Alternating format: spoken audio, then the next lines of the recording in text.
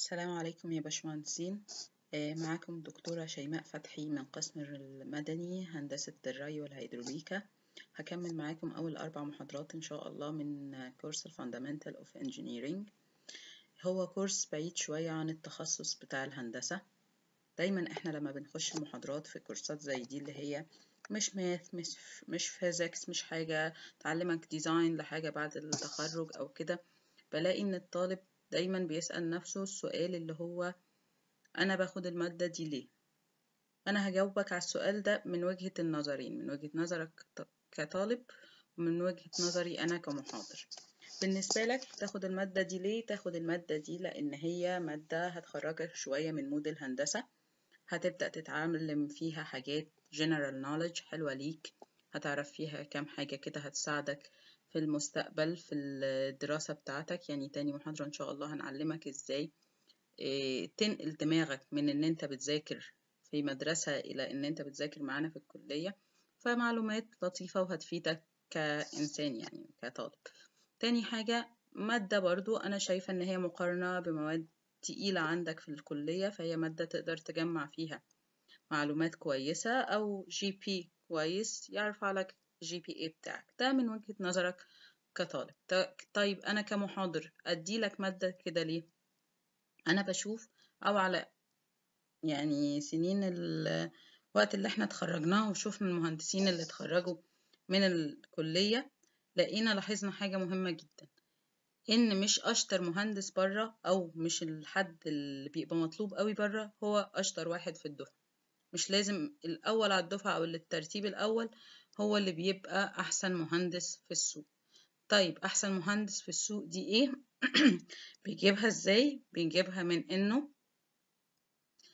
يبقى مع إنه تكنيكال شاطر يبقى جزء منها personality personality بتاعته لما بتبقى قوية أو عنده presentation skills كويسة عنده general knowledge كويس عنده طريقة how to deal with problem الحاجات دي كلها بتعليه ك salary كحد. يعني أنا لو صاحب مكتب هندسي وجالي اتنين الاتنين متساويين في ال GPA هقارن بإيه؟ هقارن بال soft skills بتاعت الطالب ده أو المهندس اللي قدامي ده.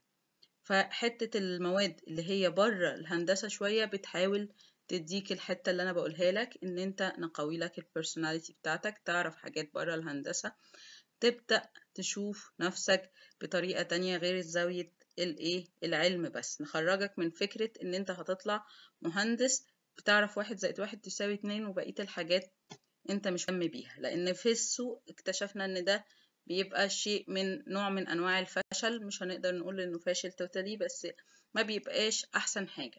فإحنا عايزينك تطلع معانا أحسن حاجة إن شاء الله. طيب ال course كده. هنتكلم النهاردة عن إيه؟ هنتكلم عن ال introduction عامة. في الحاجات في ال engineering يعني إيه engineer؟ يعني إيه إيه ال history بتاع الهندسة؟ التطور بتاعه جه إزاي؟ انت مهنتك دي تتطلب منك إيه وهكذا؟ هنشوف مع بعض. أول حاجة يعني إيه مهندس؟ What's engineer. Engineer ده فجأة لما تجيت كده وجالك جواب التنسيق إن أنت دخلت هندسة بتتحول في وجهة نظر الآخرين إن أنت بني آدم بتعرف تعمل كل حاجة بمعنى كل حاجة فعلا. يجي إيه؟ يقول لك مامتك تقول لك غير لي اللمبة دي. لو قلت لها ما بعرفش تقول لك مهندس ما بتعرفش تغير لمبة. مش عارفة في مسمار عايز يتدق تعالى دقه لو قلت ما أعرفش هيقول لك مهندس ما بتعرفش تدق مسمار. هو دايما الناس عندها فكر إن المهندس ده حاجة لازم يعرف في كل حاجة.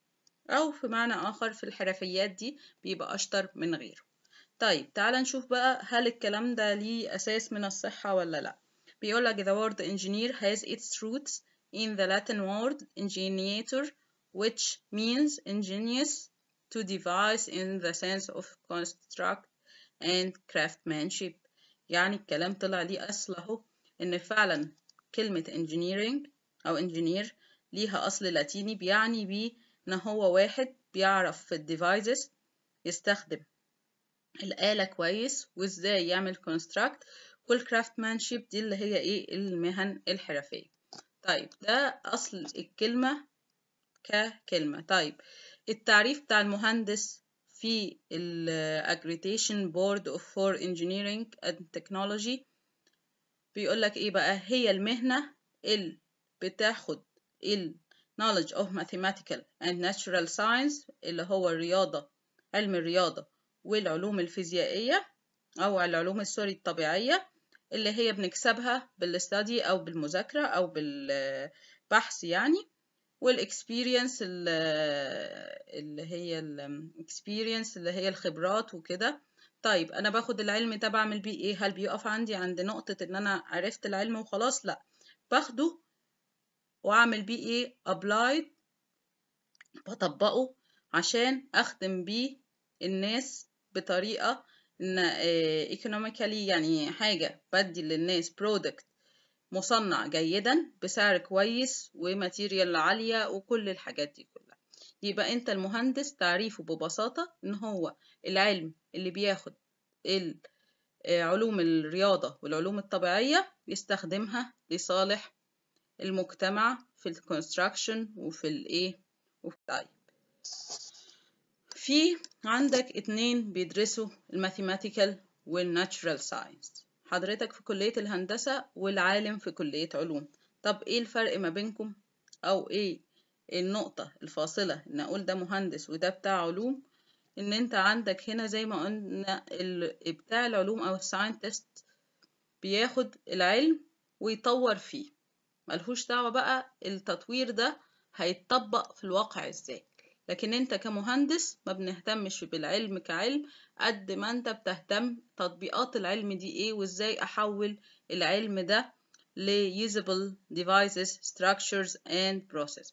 يعني بيقول لك بتاخد العلم وبتحوله to design and develop usable device structures and process.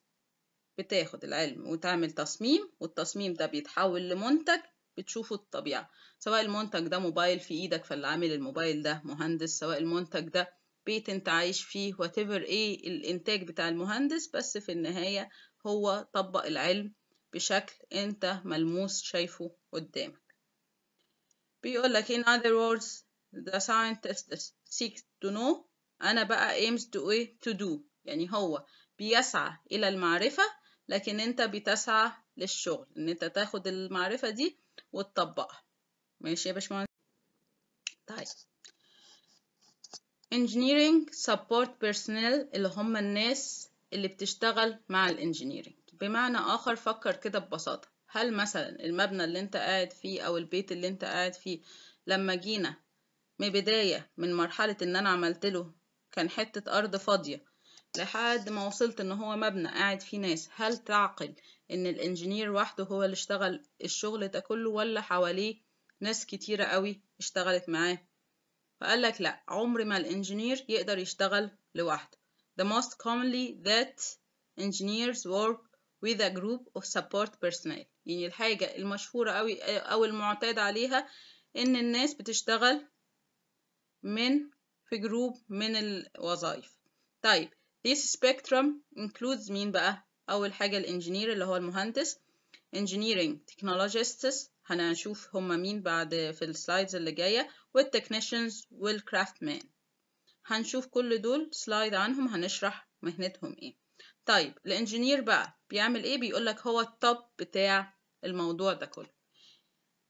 Who serves the innovator design decision maker and leader of the engineering team. تعال نشوف كل كلمة معناها إيه. Innovator اللي هو أنا مش هعمل copy paste لكل design اتعمل. لا أنا هعمل innovation أو هعمل ابتكار في كل حاجة شوية. المرة دي عملت البيت بالمنظر ده المرة الجاية هعمله المنظر ده هكذا بحيث إن يبقى فيه إيه innovation في الموضوع. Designer هو اللي هيصمم هو اللي هياخد القرار نعمل إيه وما نعملش إيه وهو الليدر بتاع كل المجموعة اللي إحنا هنتكلم عليها. ماشي بقى. طيب. Next is the engineering technologist who assist engineer in planning construction and operation of engineering facilities الناس اللي هم بقى technologist دول اللي هم اللي حواليك في المكتب لحد هنا إحنا ما خرجناش من المكتب بيساعدوك بقى في إيه في التخطيط في الانشاء في ال operation engineering facility اللي هي العمليات الهندسية اللي حواليه زي بتوع ال IT زي بتوع ال sales ال financial الحاجات دي كلها. بيقول لك مين؟ include technical sales يعني انت لما بتعمل دايما المهندس ليه علاقة بالسوق. المهندس بيعمل product بيبيعها لناس فدايما في technical sale. أنا مش أنا كمهندس هنزل أبيع بنفسي لا في حد مختص في البيع بي إيه؟ بينزل يعمل كده. Construction supervision اللي هو رئيس الإنشاء أو كده اللي هو بيبقى بيشوف الموقع ده شغال إزاي ومين راح ومين ما راحش وهكذا. برضو ما بيبقاش المهندس بيبقى حد تحت إيد المهندس. routine product development اللي هو بيطور لك في الروتين بتاع الإنتاج بتاعك اللي هو الخطوات بتاعة الإنتاج بتحصل إزاي وأزمنتها إيه وكده. لو الروتين ده ثبت لفترات طويلة فالمنتج ده هيتراجع والمصنع ده هيتراجع. وبيعملوا coordination of workforce و equipment وال materials يعني مثلا لو البنا ناقصه شوية أسمنت معرفش إيه بنعمل coordination مين هيجيب إيه وهنوصل إزاي بين ال persons والحاجة اللي هم عايزينها وكده. برضو اللي بيعمل ال coordination دول هم ال technologist اللي بيساعدوا طيب تاني ناس اللي هم ال technician اللي هم specialized in methodology devoted to accomplishment in practical objectives. يعني بمعنى آخر الفرق بين ال technician وال craftsman هنقوله دلوقتي. إن أنت ال technician ده حاجة خاصة بمهندس. يعني تحس إن هو مهندس بس بالإيه بال practice مش بالعلم. طب زي إيه؟ زي أنت مثلا زي بيقولك including drafting. drafting ده اللي هو بيرسم الشغل بتاعك. يعني أنت في الكلية بتاخد ال design بتيجي تدي ال design ده تحوله draft كده أو رسمة بإيدك على ورقة وتديها لرسام في المكتب هو اللي هيرسمها لك على ال AutoCAD وهو اللي هيطلعها لك. فده بني آدم محتاج قدر شوية من العلم ويبقى إزاي يعرف يستخدم ال AutoCAD وكده. فبالخبرة بيبدأ يعرف حاجات خاصة بالهندسة شوية. ال surveying دول اللي هم بتوع المساحة اللي انت بتشوفهم في الشارع ساعات بيبقوا واقفين بحاجة كده مثلثة واقفين يشيلوا يبصوا في حاجة زي الكاميرا. الناس دي كلها بتوع المساحة بيبقوا آه طريقتهم دي. surveyor دول آه دول برضو technicians تبع المهندسين. collecting data مش عارفة اللي هم ناس ليها قدر من العلم الهندسي شوية بس مش واخدين كلية هندسة.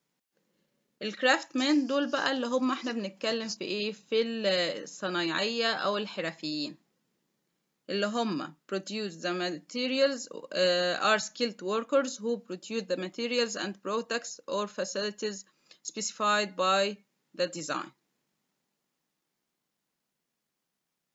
include electrician و carpenter welder machinist and model builder اللي هم البنايين الكهربائية الكاربنتر اللي هم النجارين كده اللي هم الحرفيين. بيقولك عادة ال craftsman دول ما بيبقوش متعلمين تعليم عالي أو واخدين فوق ال high school لا بيبقوا واخدين الخبرة بتاعتهم نتيجة ال training أو التدريب من وهم صغيرين بيشتغلوا الشغلانة دي.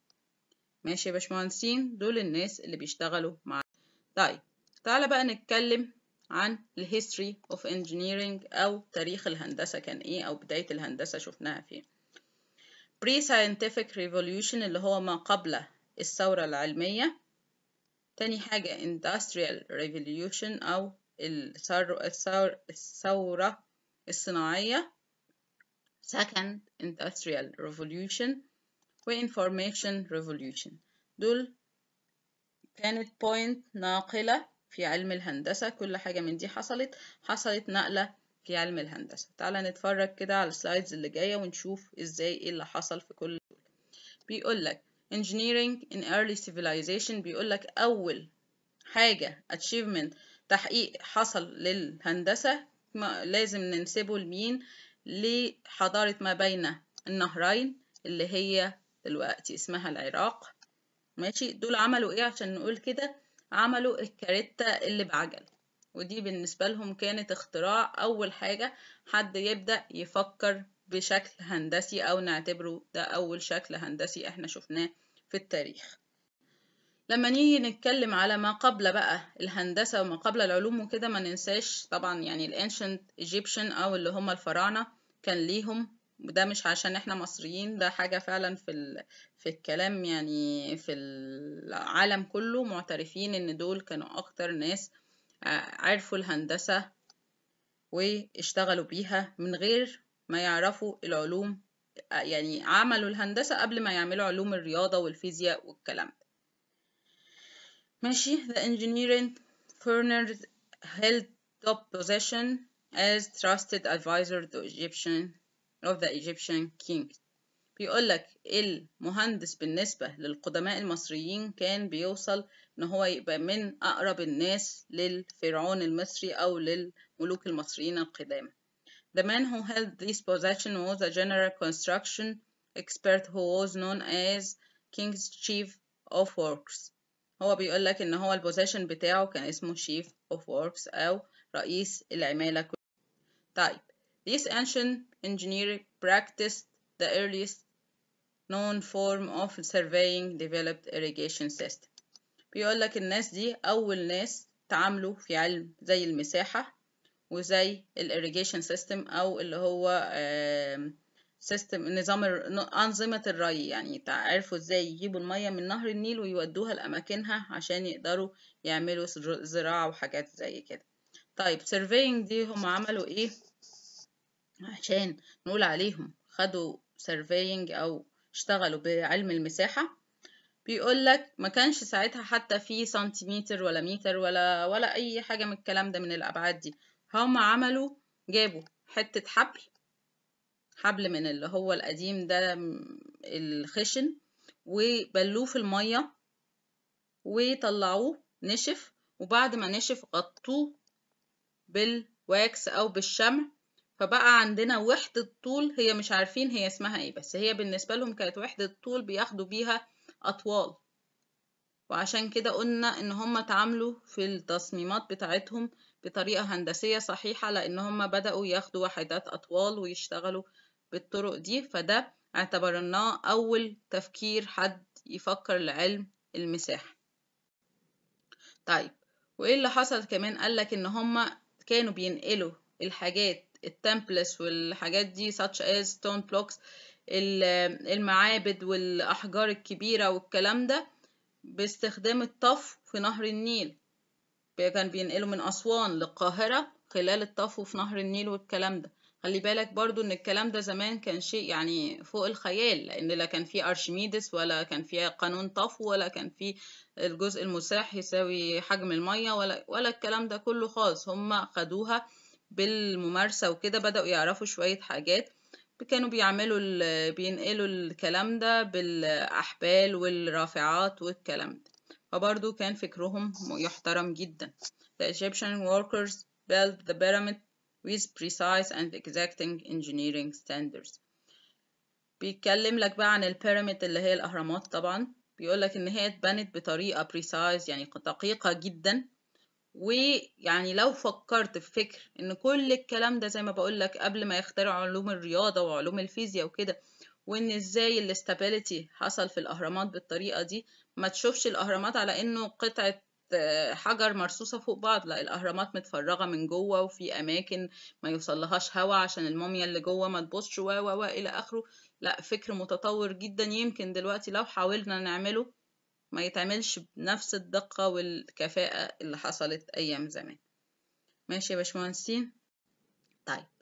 Industrial Revolution أو الثورة الصناعية دي بقى حصلت إمتى؟ حصلت في أوائل القرن الثامن عشر لأوائل القرن التاسع عشر. هنا بدأنا نفكر إن إحنا نريح البني آدم شوية. فبدأنا نحل محل ال muscles ال human muscles أو إن أنت مثلا الكاريتا كانت بتتجر بال animals أو كده لا بدأنا نفكر إن في حاجة اسمها steam أو بخار حركنا القطر بالفحم الكلام ده كله ده اللي هي الثورة الصناعية الأولى. ماشي؟ بيقول لك increasingly powered by steam engines started to replace muscle muscles in production. يعني حطينا بديل للإنسان اللي هو قوة البخار فبدأنا نريح الإنسان. طيب second industrial revolution بقى إمتى؟ بيقولك بعد الحرب العالمية التانية. بدأوا بقى بتوع الكيمياء وبتوع الكهرباء والحاجات دي science based engineers branches develop electricity. بدأنا نشوف الكهرباء ونشوف العربيات ونشوف الطيارات والتليفونات وال mass production اللي هو حجم الإنتاج بدأ يزيد. ماشي يا باشمهندسين؟ طيب. الحاجات دي بقى الكهرباء لما طلعت وال وال mass وال telecommunications والحاجات دي دفعت معظم ال branches بتوع ال engineering لقدام شوية. طيب آخر حاجة أو ال revolution اللي إحنا لسه فيها لحد دلوقتي اللي هي بيسموها الثورة المعلوماتية أو ال informations revolution ده بقى ال engineering هنا بدأ يبقى mature يعني ناضج. أو بعد الحرب الناس بدأت تفكر بشكل هادي شوية ما عادش في حروب بتدمر شعوب ولا كده فالدنيا بدأت إيه تهدى. بدأنا ندور بقى في إيه في ال computers وال telecommunications والحاجات دي اللي هي الاتصالات وال microelectronics والحاجات دي. إن إحنا من إن إحنا كمبيوتر في ثلاث أوض بدأنا نحاول نصغره ونصغره ونصغره. الاتصالات بدل ما كان عشان تتصل من هنا لآخر الشارع مش عارفة تاخد قد إيه بدأنا نحاول نطور الحاجات دي كلها لحد اللي إحنا واصلين له دلوقتي اللي هو لسه الكلام ده كله لسه فيه إيه شغل عليه ولسه فيه طيب.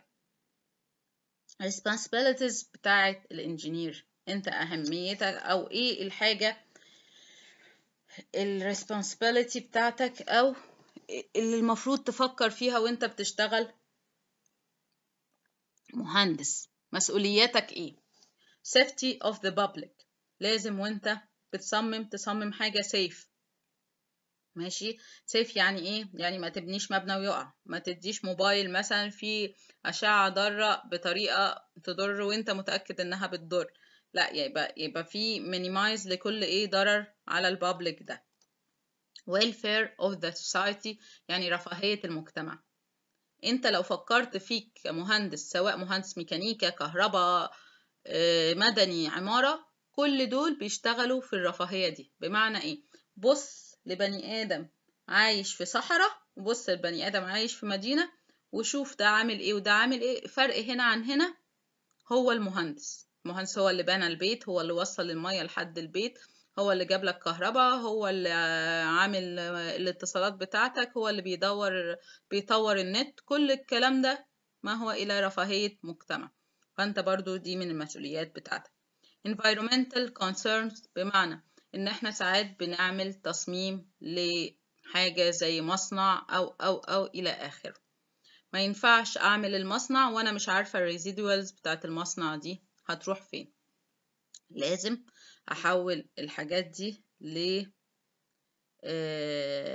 حاجة آمنة إن أنا أعرف أتخلص منها بطريقة آمنة ما أبوظش البيئة اللي حواليا. اللي هي بيقولوا يعني زي ما بتقول كده إيه إن أنت تسيب المدينة خضراء يعني نظيفة. ما ينفعش إن أنت تلوث المنطقة اللي حواليك.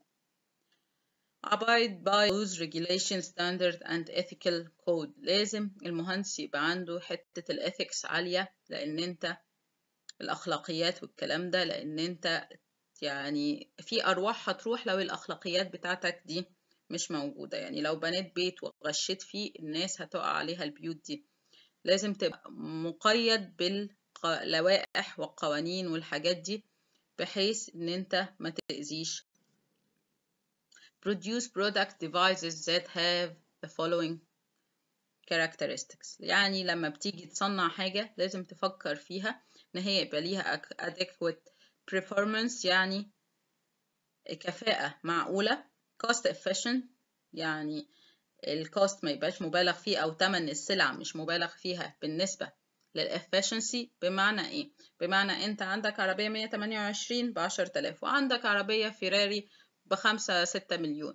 الفراري دي مدياك options قدام الخمسة ستة مليون والمية تمانية وعشرين مدياك options قدام العشرة تلاف فدايما ال product بتاعك بيبقى تحديد سعره على أساس ال efficient بتاعه. Low operation and maintenance cost. ما ينفعش يعني دايما لما حد بيجي برضو نفس ال example بتشتري عربية لو أنت بتبص لها من الناحية ال financial بتسأل قطع الغيار بكام؟ وبتستهلك بنزين قد إيه؟ ومش عارفة إيه. فلازم في ال product بتاعك تبص لحتة ال operation هيتصرف عليه قد إيه تشغيل ال product ده أنت شغال بتصرف عليه قد إيه ال maintenance بتاعك بيصرف قد إيه. Durability و longevity دي اللي هي سلعة معمرة أو اللي هو durability قوة احتمال. يعني يبقى ليها عمر. ما اشتريش السلعة النهاردة تاني يوم ألاقيها باظت وإيه فلوسها. طيب إيه قيمة شغلانتك كمهندس؟ أنت are responsible development of civilization. أنت زي ما قلت لك اللي بتعمل تطور للحضارة؟ زي ما قلت لك كده نفس ال example انت انقل نفسك من الصحراء للمدينة فتعرف انت دورك إيه. انت دورك ان انت تحول حياة الناس للحضارة اللي أنتوا شايفينها. Infrastructure دول اللي هي البنية التحتية اللي هي تشمل مواسير المية مواسير الصرف خطوط الكهرباء خطوط التليفونات. ده اللي هو الحاجات اللي إحنا مش شايفينها تحت الطرق اللي إحنا ماشيين عليها. Communication to link people اللي هو الاتصالات بين البني آدمين. Products to make our lives easier and more enjoyable. زي التلفزيونات زي الموبايلات زي العربيات الايربلانز الحاجات دي كلها. دي كلها برضو اللي بيصممها واللي بيصنعها. طيب إيه بقى؟ إحنا في في الدنيا عامة ما ينفعش نسيب كل بني آدم لضميره هو وضميره. كل مهنة ليها framework legal framework of engineering profession. يعني ليها frame كده بتمشي جواه عشان تبقى ماشية صح. يا إما تخطيت ال frame ده هتدخل في سين وجيم زي ما بيقولوا أو هتتساءل قانونا. طيب إيه بقى ال codes and standards set minimum requirement to ensure public safety and adequate performance الكودز اللي إحنا بنمشي عليها دي بتضمن إيه؟ بتضمن لك إن أنت تسيب البابليك دول أو الناس عامة عامة الشعب سيف وزي ما بقول لك تنتج منتج بيشتغل كويس. طيب أمثلة للأكواد دي إيه؟ Example of the first structural design code code اسمه the code of Hammurabi و code of ethics اسمه conflict of interest. دول أكواد المهندسين بيبقوا ماشيين عليها عشان ما يسألوش قانون. طيب هنقول لك برضو إيه نعرفك كده سريعا بال titles يعني ال engineering major divisions اللي هم التخصصات بتاع ال engineering عامة اللي أنت عارفها اللي هو مهندس المدني مهندس البيئة mechanical مهندس الميكانيكا الكهرباء الكمبيوتر ال chemical المهندس الكيميائي architectures اللي هم بتوع عمارة construction engineering طيب في حاجات برضو بس مش معروفة قوي اللي هو bio engineering اللي هو المهندس بتاع الدراسة الكيمياء الحيوية والحاجات دي. building engineering اللي هي بتاعة المباني. ده تخصصات برضو مش مشهورة قوي بس موجودة في بعض الهندسات. materials engineering اللي هو بيدرس تطور الماتيريال والرو ماتيريال والحاجات دي. communication system engineering manufacturing energy and renewable energy engineering petroleum engineering مهندس البترول genetic engineering اللي هو الوراثة الحاجات function of engineering يعني وظيفتك ايه within within a given engineering field of specialization there is a wide range of function and activities ايه بقى دي أول حاجة research development design production construction operations sales and management. ماشي؟ اللي تحت ده هو الفانكشن بتاعك أو وظيفتك. طيب هنتكلم على كل واحد اللي جاي. الريسيرش ده بقى بيقولك إيه؟ involves seeking new knowledge or better understanding. يعني ده اللي بيبحث على معلومة جديدة تطور الصناعة بتاعته. بمعنى آخر يعني أنا عشان قديمة شوية فحضرت الموبايلات. أول ما طلعت طلعت سنة خمسة وتسعين ستة وتسعين حاجات كده. كانت حاجة كبيرة أوي. دلوقتي الموبايل اللي في إيدك ده اللي هو اللي فيه التاتش والكلام ده وكان زراير وكان شبه التليفون اللاسلكي اللي معاك دلوقتي في البيت. فهل من خمسة وتسعين لحد ما مثلا 2010 أو 2007 كده بدأ يبان ال touch ده؟ ال 12 سنة ده عشان يوصل من الموبايل بزراير لموبايل touch ما كانش فيه research بيحصل. لا طبعا كان في حد قاعد بيعمل research إزاي أطور المنتج اللي في إيدي ده. ال research إن أنا ببحث في العلوم عشان أوصل لمعلومة جديدة أعرف أطور بيها المنتج بتاعي. طيب ال development بقى إن هو بيستخدم النتيجة اللي وصل لها علميا إن هو تبقى حاجة useful to product useful في ال production بقى إن أنا آخد ال research ال research بيقف عند إن أنا وصلت المعلومة. ال development بقى باخد المعلومة دي وإزاي أستخدمها في ال production بتاعي في اني فبطور المنتج بتاعي. طيب ال design إن أنت بتاخد بقى الحاجة اللي أنت وصلت لها دي المعلومة مع التطور بتاعها وتحطها وتعمل لي design لل product لسه كل ده على الورق. طيب ال production بقى إيه؟ ان انت بتحول ال design ده لمجموعة من ال materials و product ان انت تدخل ال design ده أو التصميم ده لمصنع عشان product طيب ال construction ده إيه؟ اللي هو بتاخد بقى ال material. plus بيقولك the process of translating design and materials into structure. يعني بتاخد بتعمل دمج بين التصميم مع ال materials اللي انت اخترتها وتبدأ تبني مبنى أو facility such as buildings, highways اللي هم زي المباني زي ال highways زي ال power and communication facility. يبقى إيه؟ بتاخد هنا ال design مع ال material وتطلع بمنتج. ده ال construction أو الإنشاء طيب ال operation in engineering means the application of engineering principle performance of practical work engineers is prominently involved in the operation utility companies يعني ايه بقى ده مرحلة التشغيل ان انت خلاص اديت للبني ادم اللي قدامك او للكاستمر بتاعك او للبابليك هنا highway أو كده بتجرب ال highway ده وتتأكد من ال safety بتاعته وال performance بتاعته هكذا المرحلة بقى اللي هي خلاص الحاجة بقت موجودة وبنشتغل. ال sales بقى زي ما قلت لك دايما المهندس بينتج منتج عشان يبيعه. ف